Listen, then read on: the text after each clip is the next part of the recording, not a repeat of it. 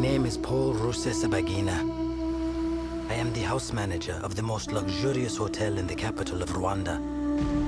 A place that my family and I happily called our home until the day everything changed.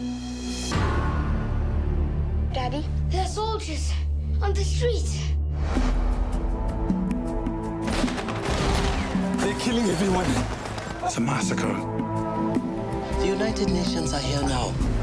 We're here as peacekeepers, not as peacemakers. We've got trouble at the gate. This is a four-star hotel, not a refugee camp. I have no means to protect these people. When a country descended into madness They're killing Tutsi children to wipe out the next generation. No! and the world turned its back, How can they not intervene? Hundreds of thousands are dying. If people see this, they'll say, oh my God, that's horrible. And then go on eating their dinners. one man had to make a choice. All the whites are leaving, even the UN soldiers. All the superpowers, everything you believe in, Paul, they're not gonna stop the slaughter. We have been abandoned. There will be no rescue. We can only save ourselves. Get down, get down!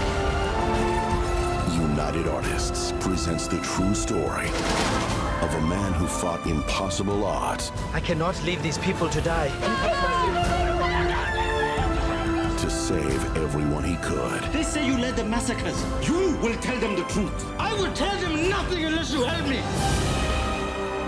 and created a place Go inside the hotel. where hope survived.